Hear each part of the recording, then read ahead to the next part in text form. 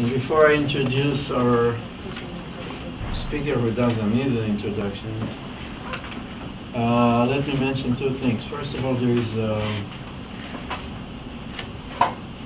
small scale reception upstairs, right above us, after the uh, seminar. So that's different from what we used to have before, which was before the seminar. It's after the seminar. I think it's a good opportunity to ask all the questions you wanted to ask during the talk but didn't have a chance to.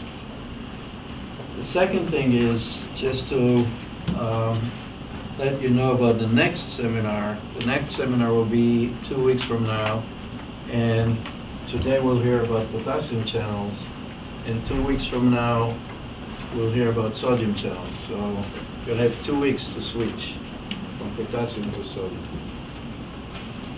Anyway, our speaker today really doesn't need an introduction, not here, but um, Gene Nierbrun, Professor Nierbrun, is a professor, the endowed uh, alumni professor in the Department of Developmental Biology, which used to be pharmacology, right? Until not too long ago. Um, Jean received her PhD from Georgetown in um, organic chemistry. And then uh, spent a few years at Caltech doing a postdoc in the Department of Biology there. Then came to Washington University. and as uh, as recent as about a year ago or so, two years, how long have you been the director of the cardiovascular? One year and three months. One year and three months. That's the official number. And she's not counting. She's been the she's been the director of the um, cardiovascular research center, and she'll tell us about. I mean, Jen has received many, many awards. She was the chair of the ESTA study section, um, and um, many other contributions on editorial boards. Um, she studied the complex structures of uh, ion channel proteins. It's not just the ion channel protein, but its complex uh, situation within the membrane and regulatory interactions. And she'll tell us today about the diversity of uh, potassium channels in the heart. Thank you for Thank you. accepting my invitation. Thank you.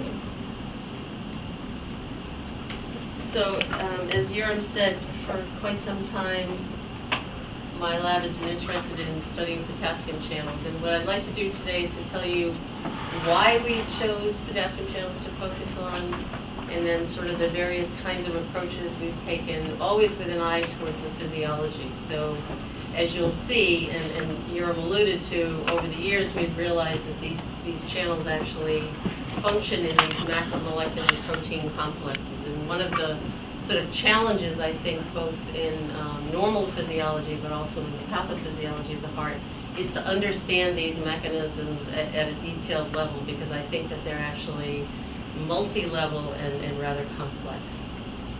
So maybe I'll just turn down these lights. Yeah. Not too many options. Maybe that's enough, actually. Too much down there because everybody is just, Ah. I think it's too Well, hard. wait, don't people get used to it, it's all right. They'll, uh, No, I think, yeah, I, I think it's okay. Students yeah. are sleeping. Um, so, so please, um, feel free to interrupt me, um, at any point, and, uh, the way I've sort of structured my talk, you can stop at any time, and I won't make you stay past five thirty since Yoram has refreshments for you. One paid political announcement, or unpaid, I should say, is that to remind everybody that Cardiovascular Research Day is November seventh. It will take place in the Farrell Teaching and Learning Center. There'll be a seminar from Helen Hobbs from UT Southwestern and um, posters by graduate students, uh, clinical fellows, postdoctoral fellows, and there'll be monetary prizes for the best posters. So please, everybody, send in your abstracts. So, um, as everybody here certainly knows, one of the intriguing things about of, about the heart is that it functions as an electromechanical pump. And so the electricity and the electrical flow in the heart is critical to maintaining normal pump function. And this cartoon actually is just an illustration of what the electrical properties of different cells and different regions of the heart look like. And this is one of the things that sort of got us uh, really intrigued a long time ago in what underlies this, um, this diversity. And um, I have these organized in, in, the, in the spread of the normal propagation of activity through the heart. But I think what you'll see, with the exception of nodal tissue, is that the big difference between the action potential waveforms in the atrial myocardium versus the ventricular myocardium is primarily in the repolarization phase. So the upstrokes of the action potentials are rather similar, and it's the the uh, repolarization phases that are different. And so at the time, we and many other people postulated that these differences must reflect differences either in the types of repolarizing potassium channels that are expressed or simply differences in the expression of the same kinds of channels. And so over the years, a, a rather large number of laboratories have, have contributed to figuring out what the ionic currents and underlying cardiac action potentials are. And I think um, this, this little illustration here is intended to, to point out to you that um, there are sodium channels that underlie the depolarization, calcium channels that really underlie the, primarily the plateau phase, and are the triggers for excitation, contraction, coupling. But the diversity really lies in the potassium channels that underlie the resting potential, the early repolarization phase that contribute to maintaining the plateau, and then the later phase of repolarization. And these um, little uh, cartoons underneath are actually what the, the, predictions of mathematical models of the various currents in their waveforms as a function of um, the time course of the action potential. So then the sort of working hypothesis is that the voltage-gated potassium channels um, are the primary determinants cardiac repolarization.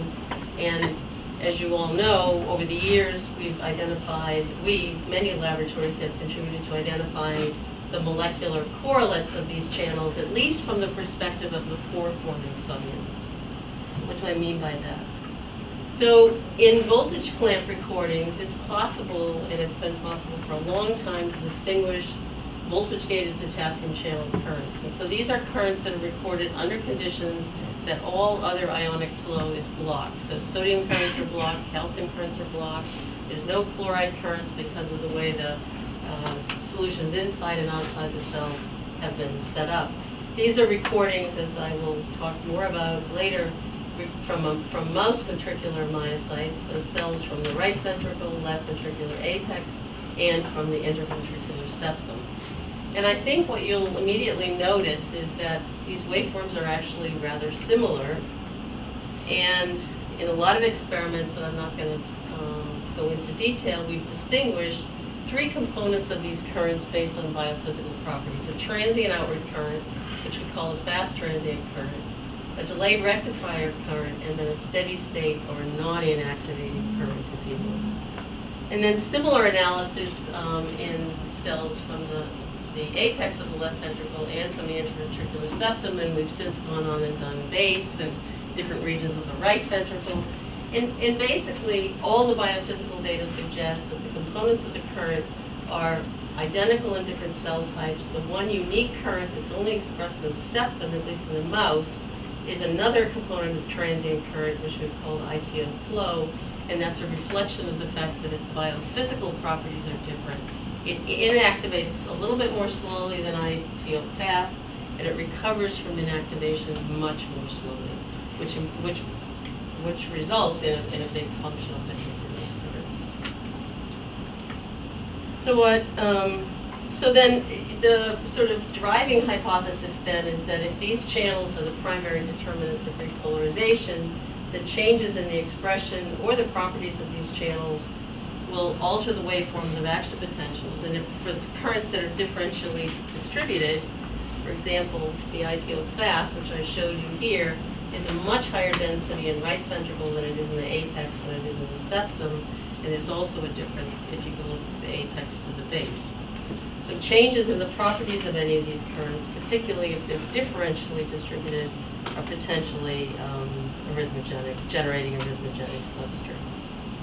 And although everything I'm going to talk about today is has been in the mouse, these currents, if I showed you today, and actually I'm giving a talk in the Center for Cardiovascular Research in a couple of weeks where I'm going to talk also about some human data, and, and it really, the, the properties of the currents are indistinguishable. If we sat a mouse and a rat and a, and a canine, and you know there are subtle differences, but for the most part, they are the currents are remarkably similar. And the other striking thing is that the cells in the heart look almost identical. So there's more cells in a human heart, but each individual heart cell looks morphologically indistinguishable. If you came into the lab and looked at a dissociated myocytes from a, a dog or a human or a mouse, you wouldn't be able to tell the difference. So can I just- Yeah. So the mouse heart goes at 600. My heart right now is going 60, I'm hoping. And so, so you say they're indistinguishable in, in spite of the fact that the heart rates are so drastically different? Yeah, so the currents are the same and the, the channels are the same, but how they add up, well, yeah. So I'm going to get to that, but the bottom line is the, the relative densities of the channels. When I showed you the records from the human heart, I suggested that the densities of the channels or the properties of the channels could be different and that could give you different waveforms. The waveform of a mouse action potential, I'm going to show it to you in a few minutes, is much, much briefer. The duration is much briefer than human. So it's on the order of 40 milliseconds as opposed to several hundred milliseconds. And the big difference is actually the relative proportions of some of these currents mentioned last. And one of the things that, that um, we and other people have been doing recently is trying to make mathematical models of these currents. And this is a lot of work um, done by Scott Maris and Stephen Springer in my lab, where they've generated mathematical models and then introduced those two cells during recording, simultaneous with the, with the current clip recording, and asked the question if they introduce the current mathematically, how does that affect the action? And I think that's potentially a really powerful way to ask what's the functional effects of changes, either in densities. So Jean, Yeah. is there a difference in current clamp action potentials in the septum that, that reflects the difference in the IK slow? Yes, there is actually. So um, there's a, it's a, the, the action potentials are slightly different in their shapes, but they're also longer. So at 50 and 90% repolarization is substantially longer. Because in those cells, as you saw, the densities of the ITO fast is lower, and in addition, you have that other current. And so they have also rate-dependent differences Okay, so um, what do we know or what do we think about um, regulation of potassium channels? So during normal cardiac development, these channels um, change their expression levels. I'm not really going to talk much about that. But I think more interesting for many people here is that in a variety of myocardial disease states, and these are obviously acquired cardiac disease states, cardiac hypertrophy, heart failure, atrial fibrillation, and diabetes and metabolic syndrome, it's very clear that when one, either in an animal model or in cells from human heart, that the big differences in the properties can be tightly correlated with differences in the potassium channels. And so, obviously, then, the, again, the working hypothesis is that the normal regulation of these channels is important in the generation of normal rhythms, and that when they are remodeled, if you will, and this is a term that I think um, tip often has a pathophysiological consequence, but I'll show you an example where, of a physiological remodeling process where there are big changes, and I guess you call development a physiological remodeling process, but there are examples where changes are, are, are necessary to maintain normal cardiac function. So then what are the mechanisms um, that underlie this kind of remodeling? So obviously at the transcript level, the post-transcriptional and translational level, and then post-translational level.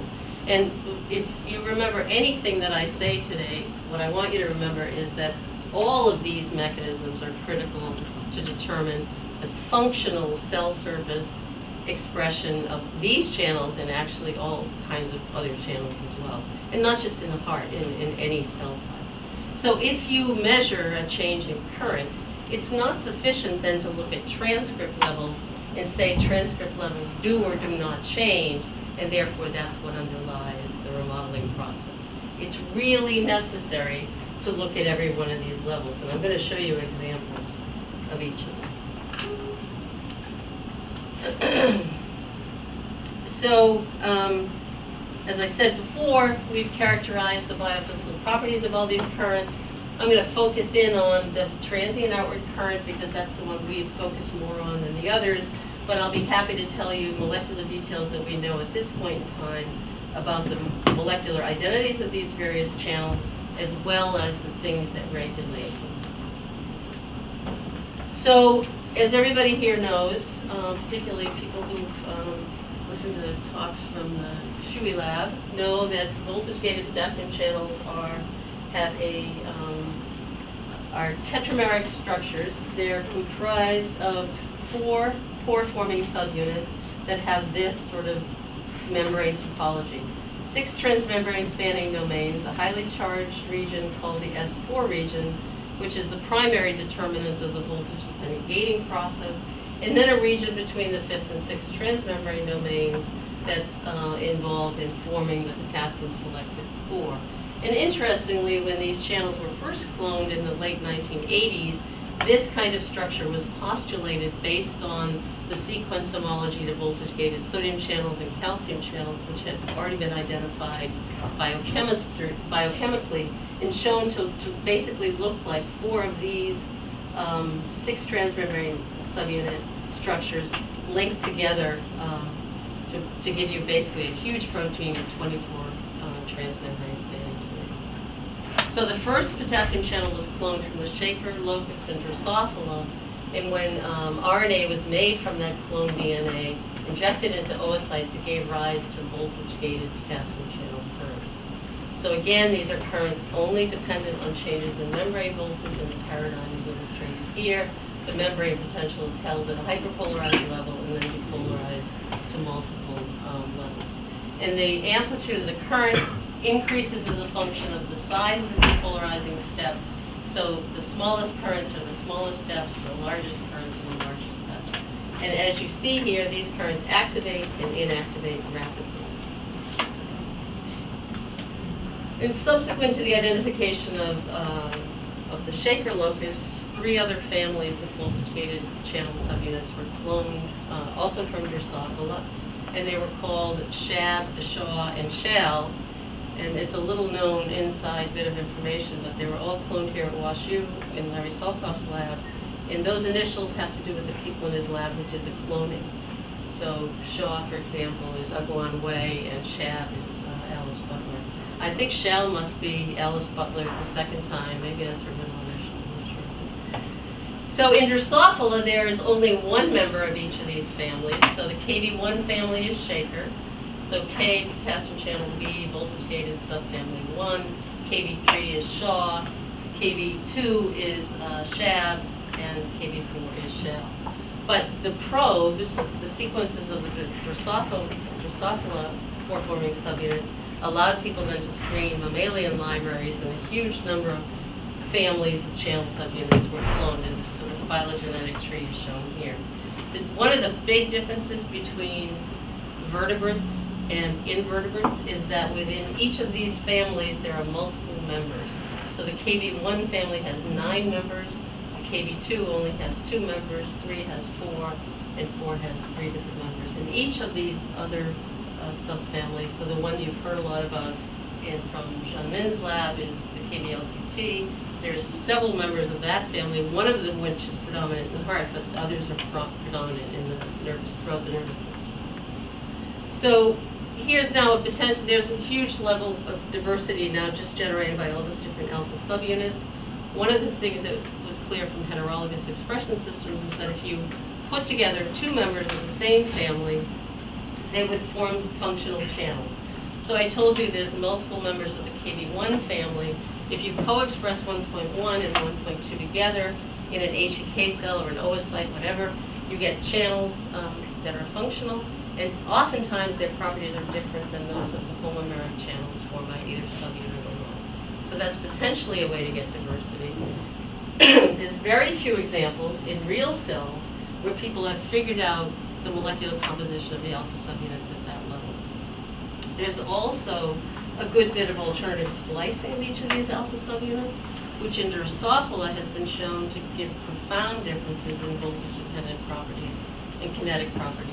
And again, it's something that in mammals, although we now know from both cloning data and more recently from sequencing data, that there are expression of different variants of some of these uh, alpha subunits. So if you start to do the, the computational analysis and ask how many different kinds of channels could there be, there actually could be a lot of different potassium channels. And so, as I'm going to show you, um, we have shown that the KB4 subfamily of alpha subunits encode the fast transient current. And in addition to the pore-forming subunits, there's a host of different accessory subunits that have been identified. the first of these were the MIN-K protein subfamily. They were named this, um, the MIN-K meant minimal potassium channel subunit. And it was called MIN-K because when it was first cloned and expressed in oocytes by itself, gave rise to a voltage-sensitive potassium channel current. And that set off a flurry of activity saying, this just breaks all the rules, right? It doesn't look anything like this. How could you possibly get a channel out of something like that? And there were a number of laboratories who went to work trying to figure out the stoichiometry of those channels, and they came up with six subunits, or 12 subunits, or 27 subunits. And anyway, finally, somebody figured out the right answer. And that was that in the oocyte, there was a pore-forming alpha subunit that this subunit actually combines with, and that's what they were measuring when they were doing the experiments. And so this points to a real risky thing about using heterologous expression systems to define the functional properties of, um, if your goal is to define the functional properties of native channels. So I'm going to tell you a little bit about the role of these two accessory subunits because they were both um, identified as accessory subunits of the KB4 subfamily of pore-forming. The potassium channel interacting proteins are the K-chips. There's four members of that family. And the good news is in the heart, it looks like the only one that's expressed at any appreciable level is the K-chip 2. The other one that's of interest is the DPX, or DPP6 was the first one cloned.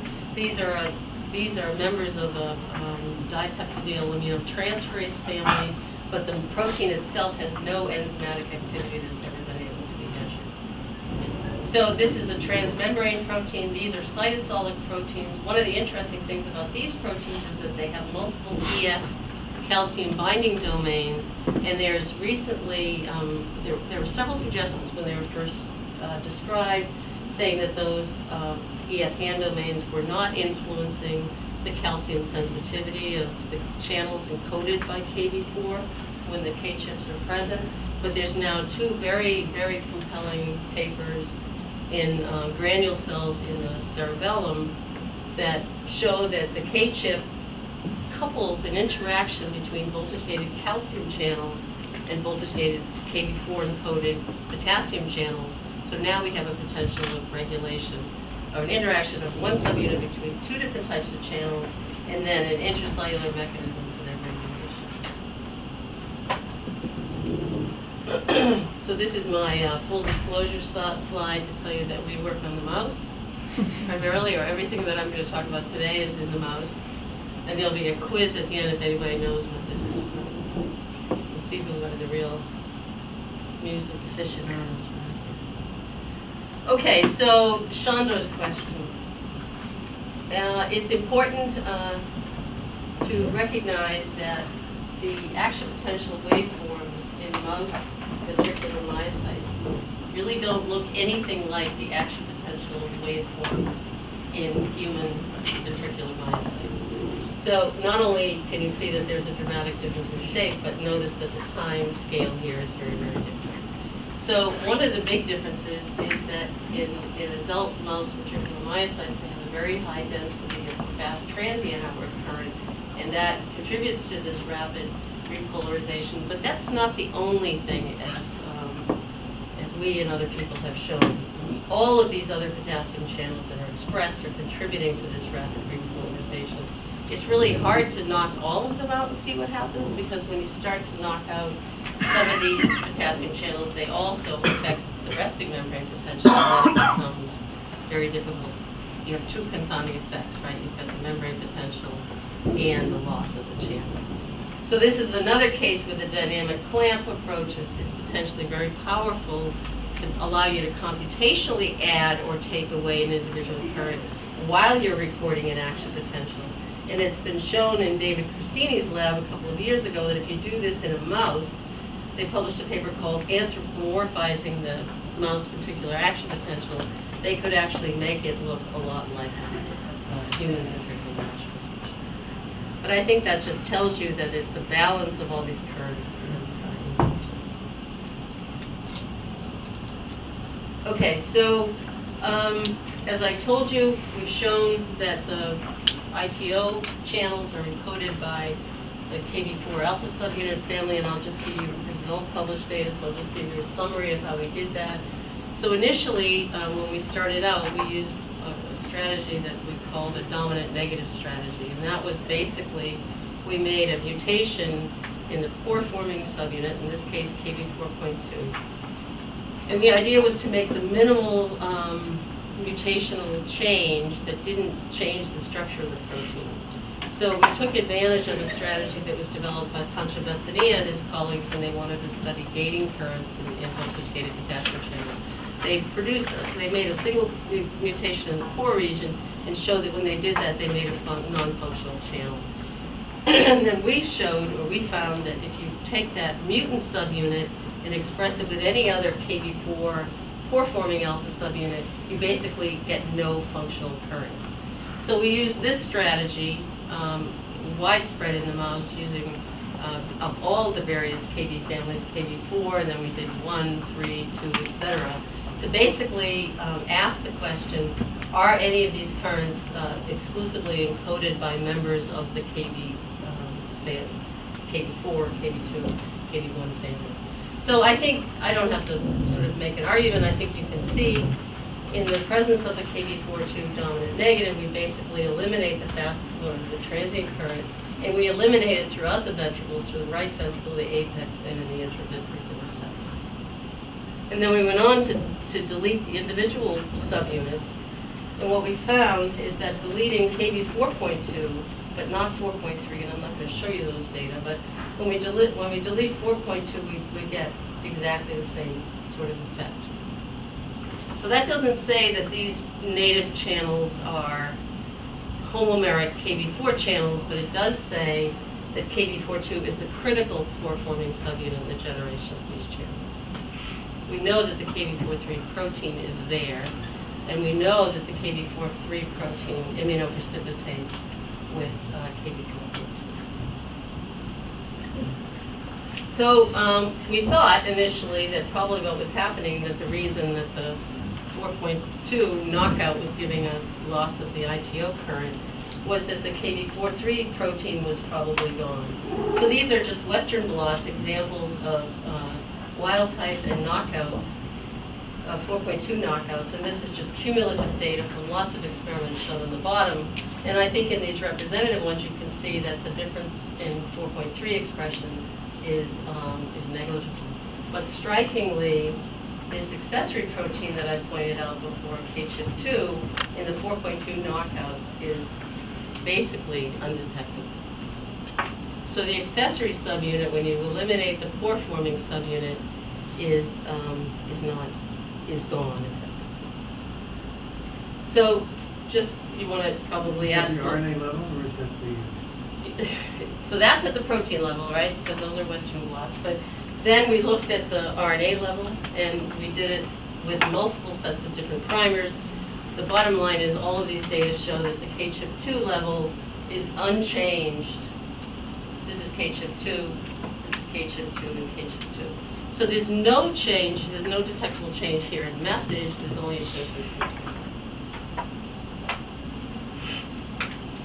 So then, what happens when you when you eliminate the K-chip? So that was the next experiment we did, generated a K-chip 2 knockout.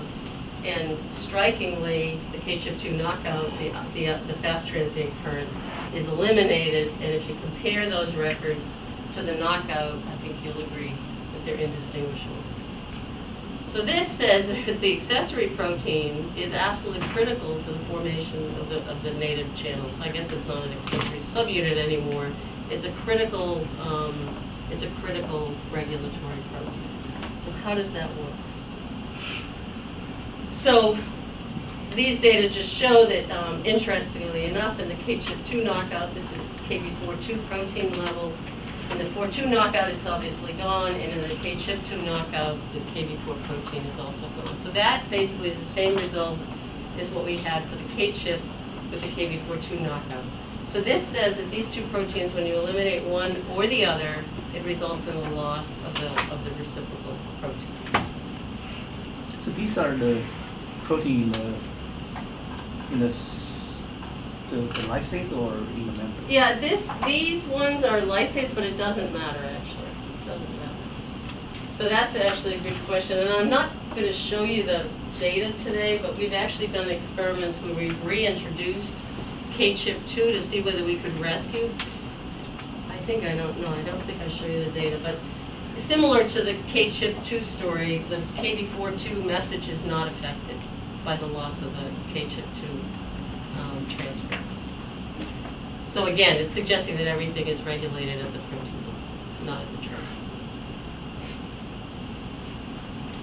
Um, so uh, a couple of years ago, um, uh, Dan, Simon, uh, Dan Miner's lab um, crystallized one of the KB4 subunits, KB4.3, with one of the K-CHIP subunits, K-CHIP1. And they, they showed this very interesting relationship between the K-chip2 protein and the very N-terminus of the KB4-2 protein. And these data clearly suggest that the critical domain for interaction between the KB4 and the K-chip is, is the N-terminal domain of the protein. And so if you express uh, wild-type KB42 by itself or with K-chip, you see a huge, this is now in heterologous cells, you see a huge increase in the amplitude of the current. And if we ask the question, so this is actually that structure, but now mapped onto there being four alpha subunits and four K-chips that make up a native channel. It, it doesn't have to be the case, but, uh, but we, that's what we think is going on, that each one of the N-terminal domains is bound to the K-chip. And so if we take away that domain, we just generate a mutant subunit that doesn't have that domain, what we find is that there's no longer any regulation by K-chip2. So the KB4 delta 40 mutant, uh, so that's the little N-terminus, plus and plus K-chip and minus K-chip, uh, the current densities are indistinguishable. See, does that uh, deletion actually uh, allow the channel express more? Uh, or, in other words, does that uh, Yeah, I'm going to show you the protein suppress. data. It's actually interesting. It does, the N-terminus does several things, but I'll show you the protein Okay. data. I think it will answer it for you. So here is the Western blot data, just a representative example of the wild type protein minus and plus K-chip, and then the mutant protein minus and plus K-chip. So the mutant looks like it's expressed at about the same level as the um, as the wild type protein, and if you do cell surface labeling and ask whether the same amount is on the surface, the answer is yes. It looks like the same amount is on the surface. And so what we think is going on, because as you obviously noticed, the current amplitudes here are large. Uh, the, if I put these right next to the wild type, this looks very much like K-chip. So it suggests that the N-terminus with K-chip attached functions like an inhibitory domain of the channel, and when you remove it, you get more current. Lisa. So then we sort of decided to, to look at the functional effects of, of making uh, various size deletions in this N-terminus to see whether we could uh, test the model predicted by the crystal structure about the role of the first sort of 25 amino acids in that N-terminus, which in the crystal structure are predicted to be in that pocket. Um, and so what we did basically was we removed the first 10 uh, residues, the first 20, and the first 30. And then we did uh, electrophysiology and we did biochemistry. And here's the wild type data that you've seen before.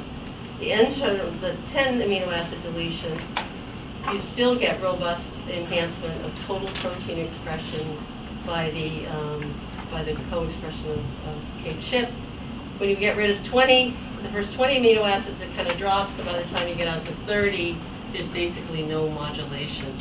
And if you sort of look at what that looks like in the, in the crystal structure, if you focus over here, it, what it looks like when you take away the first 10, 20, 30, and 40. And when you do, when you do that, you basically have two effectively functionally separate proteins that are no longer interacting. But this also, I think, points out one of the real um, sort of risks in interpreting, interpreting data from heterologous expression because even though I told you in myocytes, in, in the intact heart, when we got rid of K-chip, we lost the KB42 protein and we lost the current. It's very well established, and I showed you data that 4.2 by itself in HEK cells gives you robust potassium. So it sort of suggests that when you do these overexpression experiments, you can basically swamp the quality control mechanism in the cell and you can get functional channels expressed. And then the reciprocal experiment here, um, these are the, basically the same experiments, but instead of probing for KB42 protein, we probed for KCHIP2, and you can see with the um, full-length uh, KB4, there's uh, robust upregulation of K-chip, It's similar with the 10 deletion, and then as you chop up the N-terminus of the KB4, you basically lose the K-chip protein. So again, I think these data support the in vivo data that the two proteins interact, and they probably interact early on in the biosynthetic pathway, form a complex, and that complex is critical um, to making functional native channels. So I'll just mention about another uh, accessory protein that I talked about very briefly, and that's members of the DPP family. And one of the striking things that um, we noticed was that if you express the DPP subunits by themselves, and the DPP, as I said, are transmembrane proteins with a very large um, extracellular domain. If you express these by themselves in HEK cells, this is a YFP tag protein. I think you can see that the um, that the uh, the YFP or the DPP6 is localized on the plasma membrane. So this is in the absence of KB4. So these results suggest that DPP6 by itself traffics to the membrane.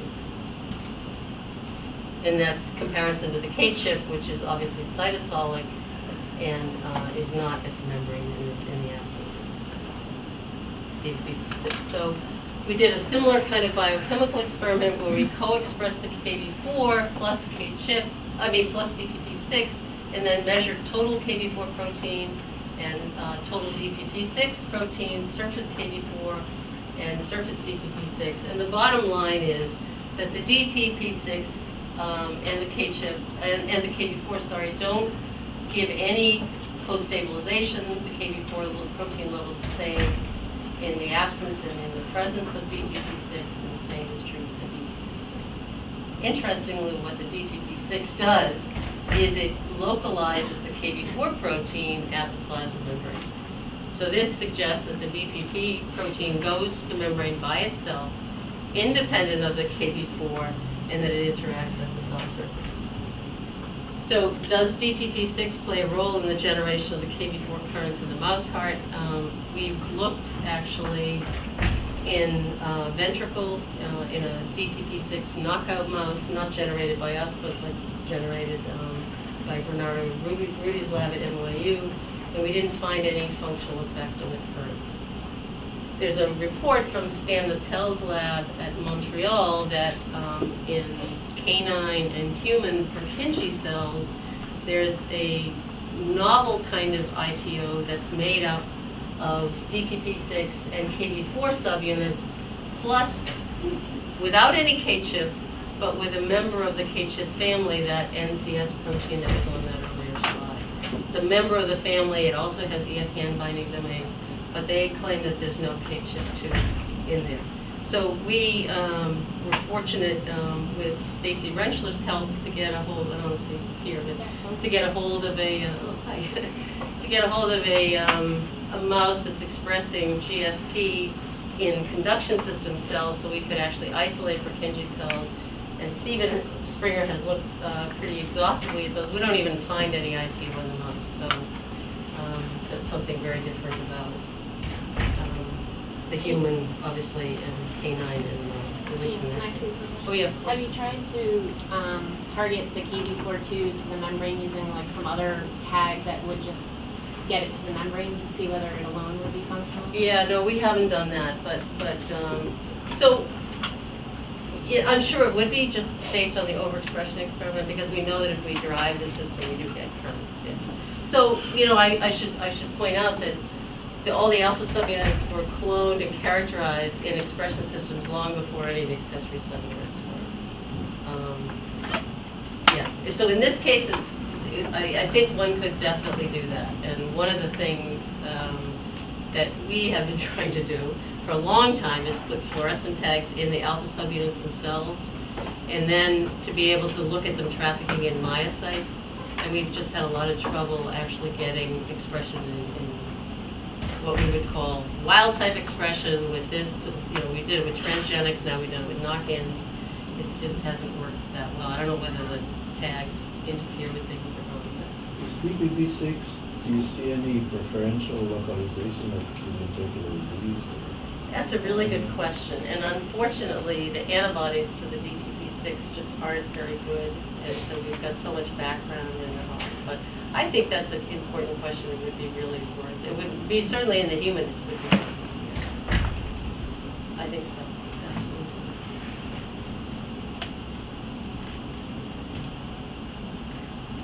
Okay, so the bottom line is that it, um, association of FOR2 and DPP6 does not stabilize the protein.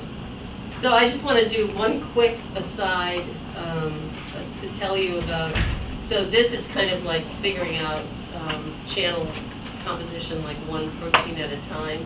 And one of the things that became really clear is that, as I've told you now, we've got DPP6. There's a paper from Jeff Abbott's lab that shows that the deletion of MERP1 affects these same currents, the ITO currents and the delayed rectifier. We have data showing that one of these KD beta subunits does the same thing.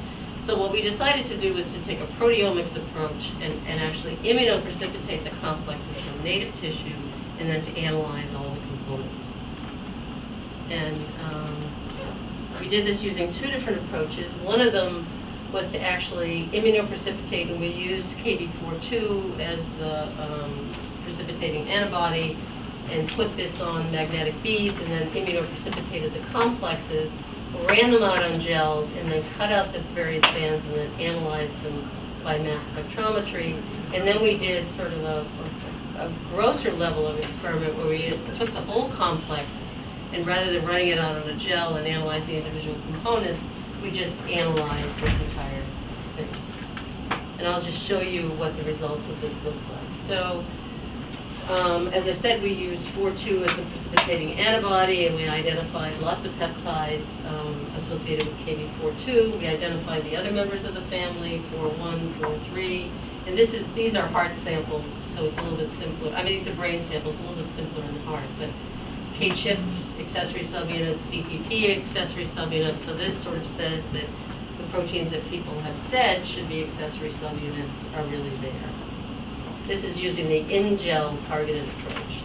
And then we did a similar thing using the solution approach, and then um, using a 2D column, basically, which gave us better, better, much better separation. We got a whole lot of additional proteins, one of which was the KB beta subunit. And then, much to our surprise, we got a whole host of other KV4-associated proteins, one of which uh, is a sodium channel beta 1 and beta 2 subunit. So this is the thing that we decided to pursue because obviously this, it would be sort of heretical to think that a sodium channel beta subunit regulates potassium channel. This sort of says, I mean, the sort of conventional view of sort of the dogma of Hodgkin-Huxley, right, is that sodium channels and potassium channels operate independently, but here we have a subunit that interacts with both. Could it possibly be coupling these channels? And so we just did the experiment, i- again, in heterologous expression systems, where we took four tube and expressed it with the NAD beta, compared those results to the K-chip tube, and then uh, co-expressed both. And then the cumulative data are shown over here, and I think you'll agree that there's a big enhancement of total current density uh, when we have the the NAD beta cell. And I'm not going to show you the data because to date, all of our experiments analyzing the functional effect of the sodium channel beta subunit have been in neurons. We haven't yet done this in the heart. But we're predicting that the beta subunit will be uh, affecting the KB4 encoded ITO. So what does the channel then look like? So it has, this is now a cutout cross-section of the channel. I'm only showing you two alpha subunits, two K-chips, uh, one DPP6. We don't know the stoichiometry, so I'm not trying to imply that we know that this is 1 to 2. We do know that the DPP subunits, when crystallized alone, crystallizes dimers. It doesn't mean that there's not four of them. There could be or one or less.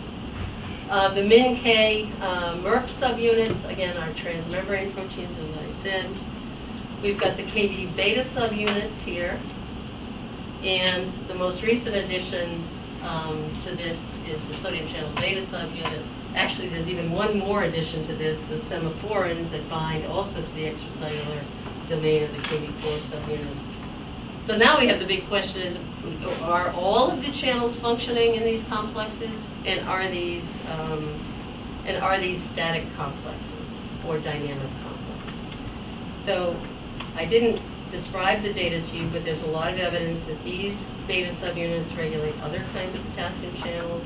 There's certainly lots of data that the MIN-K MERP uh, accessory subunits regulate lots of other channels. And obviously, there's considerable evidence sodium channel beta subunits regulate sodium channels. So are these all, is every ITO channel have this composition, or are they different in just different cell types? The data from Stan Natel's lab that I alluded to certainly argues that in the Purkinje cells, in the dog, in the human, the, the ITO has a different composition than in the ventricle. So I think that's potentially really important question to sort through.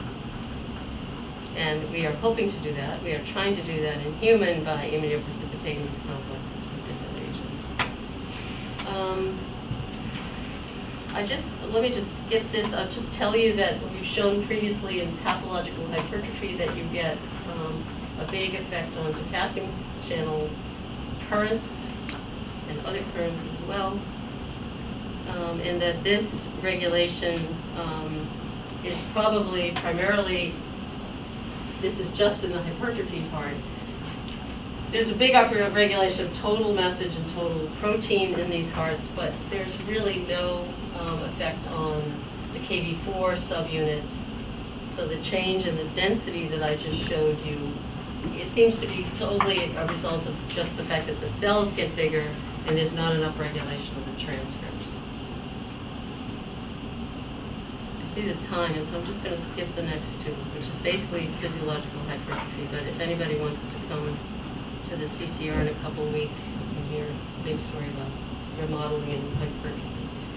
So I just want to end with, with this idea because we talked about um, sort of these co-regulatory proteins, but we've also looked in, in, a, in a case of uh, a mouse model actually developed by Mark Anderson's lab in which, so as you know, upregulation of CAM kinase 2 is, has been linked to heart failure, and Mark Anderson's lab made a mouse in which they made a, took a peptide inhibitor of CAM kinase, expressed it in the heart, in the heart of the mouse, and they also had a control peptide.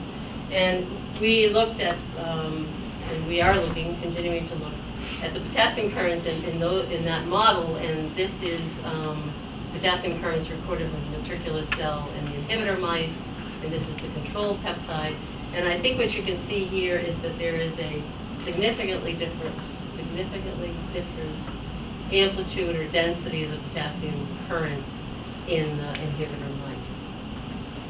And this difference uh, is not related to a difference in transcript levels. So this is transcript levels for all the various channel subunits, but for the KCNV2 and 3 and KCHIP2, there's no uh, significant increase in any of those subunits. And the same thing when we look at Western blots, we look at 4.2, 4.3, KCHIP, and then we just look at another one for control. There's no obvious uh, change in protein level. So we think that this uh, reflects, this is just quantitated from many different experiments. And so what we think that this reflects is uh, post-translational modifications of the KD4 protein or one of the accessory proteins. And this is just a mass spec of um, the KB42 protein. And Eric Johnson, who's not here because he just left town to get married, seems like a lot of nerve to me when he could be in the lab doing experiments, but um, we've identified a number of peptides in the C and N termini, and we're interested in uh, CAM kinase um, phosphorylation sites. And again, Eric is doing this both in the mouse and in the human part. And we've also identified poten potential uh, CAM kinase phosphorylation sites both on K-chip and on the KB beta subunit. And here in the blue is the, um, the KB4 alpha subunit. So, so that's potentially another way to regulate both the functional channel properties and their expression is by phosphorylation, dephosphorylation of the individual subunits and, and maybe the accessory subunits, and that will influence, in turn, not only the channel properties, but perhaps the interaction between these different proteins as a result of phosphorylation.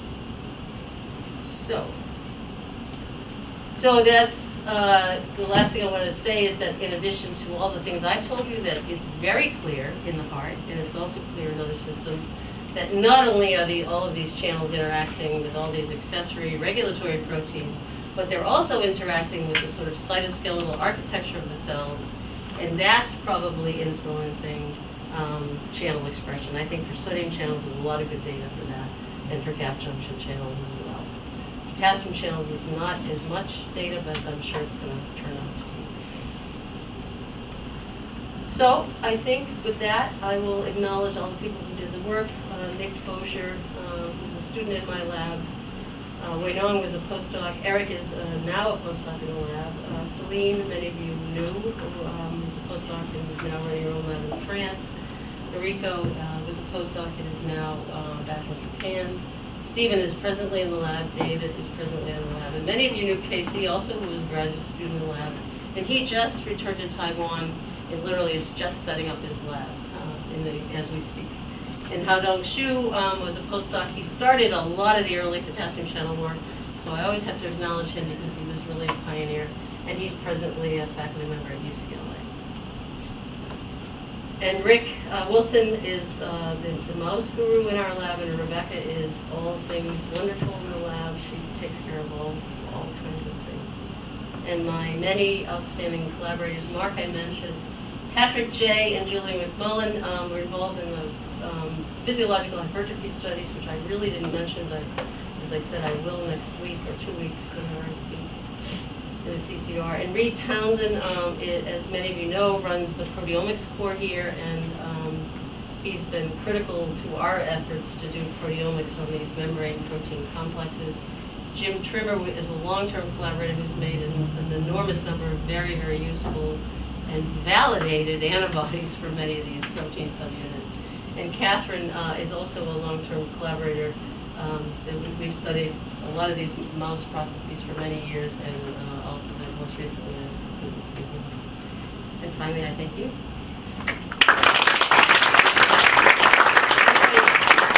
Recognizes? No, nobody recognizes. Okay. Let's go to the Thank you. Jean. Any questions or comments? John? John. I, I was surprised that you don't get any change in the other currents when you get rid of the KV 4.2. Is, is that the case with all of them, or are there some that are tied together where where they they Yeah. feel the other Yeah. expression? So we do get a change, and I skipped over it, and so when we get rid of the ITO fast, so either with the dominant negative or with the knockout, there's upregulation in all the regions of the ventricle of the slow transient current. And that is encoded by a different family. It's a KB 1.4 subunit. So, and that's probably the same in human actually. And then when we when we get rid of both of them, there is no further modulation. So there's definitely something, and it's functional because you get the same effect whether you do the dominant negative or the knockout, and also with the K chip too. So it really is, it's sort of that, it is, I hate to say, feeding back between what's at the membrane and, and how the cell is working. I think, I think so, but we haven't figured out a way to figure that out. Yeah.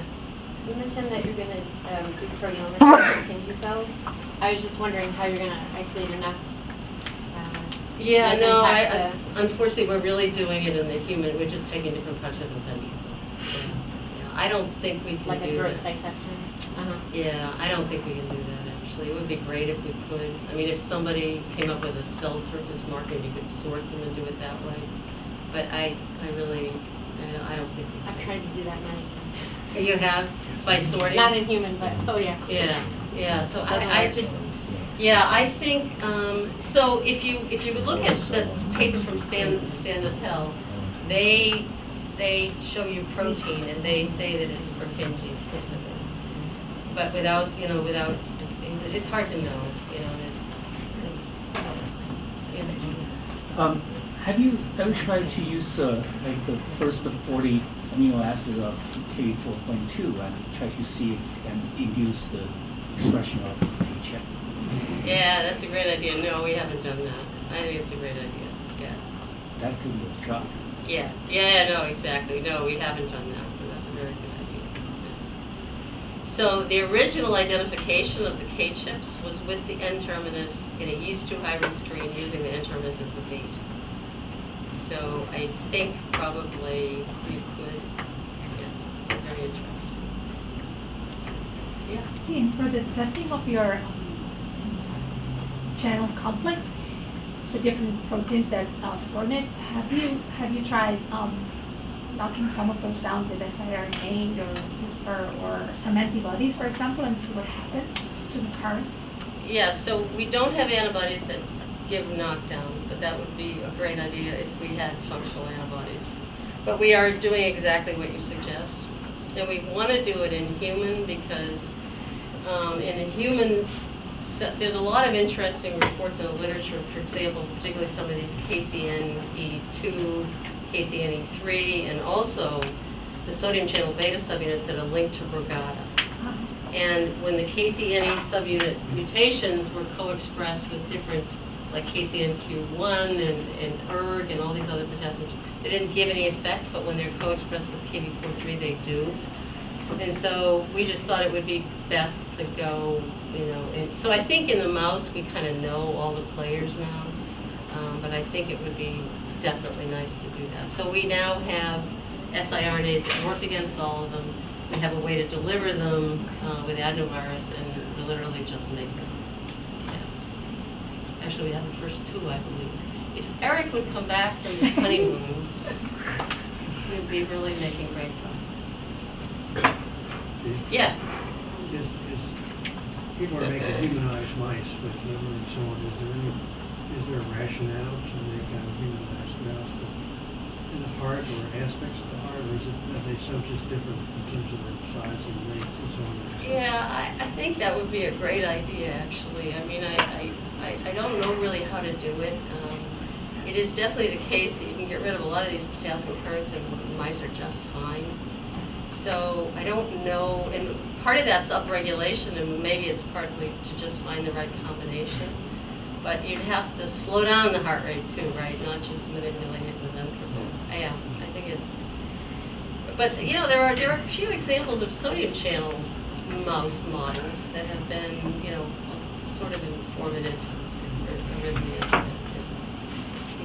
So the other thing related is that, you know, in the large mammals and the human, ITO really participates in rate-dependent adaptation of the action potential through the property of its slow recovery from inactivation. Do you know, have you, have you, have you looked into as to how that function of inactivation is modulated by all these interactions or any of them? Yeah, so we have actually, um, and it's, it's very interesting. So two things that are apparent. One is that if you co-express a lot of these things in heterologous cells, you get effects on total protein, cell surface proteins, typically inactivation and recovery from inactivation. And then the question is, do, is that really what's going on in native cells? And so all I can tell you is that, for example, in the KChIP knockout, we reintroduced Kv4.2 where there's no KChIP, and we get a current that is indistinguishable from the wild type. So I don't know what that means. And also, I would just add to that um, that all of our data in human now is looking as though there really is in healthy, non-failing human myocytes. What's healthy? I hate to into that debate, but in non-failing myocytes, there is no slump of ITO. Oh, yeah. One, one thing you could try, which is to follow up with his idea, is to see what this current does in the guinea pig. But it seems like the guinea pig lives without ITO and lives like this happily ever after. Yeah, so we're doing it in the pig. So it turns Yeah, out that the pig looks just like the guinea pig. There is no ITO. Right. And so we're doing it by adding it with a virus and by adding it with a dynamic clamp. That'd be interesting to see. Uh, It's very interesting. And there, with the dynamic clamp, the beauty is we can change the properties of it as well. And one of the functions that is suggested is sort of uh, synchronizing calcium release across the wall. Absolutely, That would absolutely. Yeah, I think that's right. So I think that the power of the, the dynamic clamp with the cell physiology, with the molecular manipulations is really huge, actually. And it's, it's, it's working pretty well, and now with people's help like John and, and uh, undergraduate who's really good at, you know, programming, which I'm, I'm not, and, um, is, is helping us to change the models so we can That's really change David Christine. so that's the system we're using. So we set up the RTXI, Scott set up actually the RTXI uh, dynamic system. And they're, they're using it. So Scott is doing it on IPS cells, Stephen on human myocytes, and pig myocytes. So, Yeah. Yeah, Fibroblasts, yes. do they play a role in this potassium channel business? I mean, depending on whose cartoon I read, some people say, well, the fibroblasts are the most popular cell in the heart. There's more fibroblasts than myocytes. Well, the Socially popular or Numerically popular. numeric? And, Yeah. and then some people say, oh, they're electrically active. That's what I'm saying, oh, they're not electrically active. And then some people say, oh, there's many more of them in the ventricle than in the atrium and all that stuff. So I'm just asking if, in, in characterizing potassium channels, if there's data, for example, on fibroblast activity. So there is data on fibroblasts, and so I think in terms of numbers of cells, you're absolutely right. In terms of mass, the myocytes are by far the biggest mass. So, um, but yes, there's a lot of evidence, and, and there's a, a link in atrial fibrillation between not these channels. Well, there are a different family of channels that are permeable to multiple ions, including calcium ions, called the TRP channels and they are expressed in fibroblasts and have been linked to proliferation of fibroblasts. And um, I think that's a big open question. I, I think it's a very interesting question. I think, you know, the mantra of that all all cells are excitable is, seems to be inex, inescapable. They don't all make action potentials, but they all use channels for all kinds of things. And, and I think fibroblasts are among those. So I think it'd be a very interesting question. Maybe Catherine has something to say. She knows much more. Well, at least they're fibroblasts than I do. coupled, and so people that step So they're board- electrically coupled to myocytes? Electrically coupled, well, you mm. know, not, not so they affect the, you know, membrane potential or anything, but, you know, it, Stefan Rohr has shown that you can get electrotonic coupling and that, you know, they're, they're coupled by gap junctions. And so there could be a component of uh, altering, altering excitability or something like that, you know, because the conduction velocity, if you go across a synthetic strand of myocytes, is slowed, but it still moves through what one would consider non-myocytic, replaced with fibroblasts. So. Yeah, and, and I think um, your friend here, um, who's doing uh, regeneration, stem cells, and, and, and the fellow also at, um, I think he's at Gepstein? Stanford. Gepstein, yes, and um, I forget who he collaborates with in California, but, but they basically have, have actually tried fibroblasts to couple them to myocytes as, as a, as a therapeutic. We're trying this at the Technion too. At the Technion, right, yeah. I don't know how successful it is, I'm not an expert It's by any successful, but it's not really that reca- recapitulates what's really happening in people. Greg Morley does a lot of that too, at. NYU, and he shows that they're coupled. With myocytes. They couple, Yes, but yeah. you don't know Right. quantitatively if the electrical loading is the same. Right. Yeah, right, because you've got this big impedance Is mismatch, 3D right? Yeah. versus quantitative? Yeah. I think it's an interesting question. Sandor, I think the fact that some people say this and some people don't, that's the, science is objective, but scientists are not. Very rabbinical comment. John?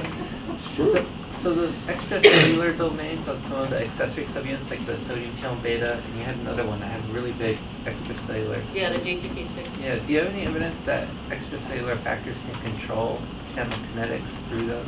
Yeah, that's a great question. So, so for the, so we don't, but I, I think it's a, it's potentially a very interesting. Uh, we were recently involved in a collaboration with Mike Ackerman from the Mayo Clinic, and they identified a mutation in a Brugada family and subsequently in three other Brugada families in semaphorin 3A. That's an extracellular protein. It binds uh, in, in a place that sort of you would predict it to dock right adjacent. It, it binds in a toxin binding domain in this channel, actually. And semaphorins have been linked in the nervous system anyway to formation of synapses. And so who knows what it's doing, but I I think those are very interesting questions. It also has a lot of developmental effects. too. Absolutely, yeah, that's right. It's very well known about like uh, many developmental uh, defects. For example, even formation of the pulmonary veins and the outflow. That's tract. right, absolutely, absolutely. So, so I think that, you know, it's, it's a big open question, and, and certainly Stacy could speak to this much better than I, but, but all, a lot of these things, you know, what they're doing in development and what they're doing in the adult may not be the same thing, and how these things go up and down, and blah, blah, blah, blah. But I, yeah, but I, I do think, I think one has to keep all that in mind. It's one of the reasons why I, I really do think it's good to do things in heterologous cells, but you have to go pretty quickly to a real cell, a real cell. It's still an isolated cell, so it's Well, not a part. question, why, why is ITO late to appear in development? Exactly right. And that's Yeah. true in every species that's been looked at, yeah. Yeah. Any Anyway, other questions? If not, as I said, the refreshments upstairs. thank you. Jim. It really- You guys have some stuff.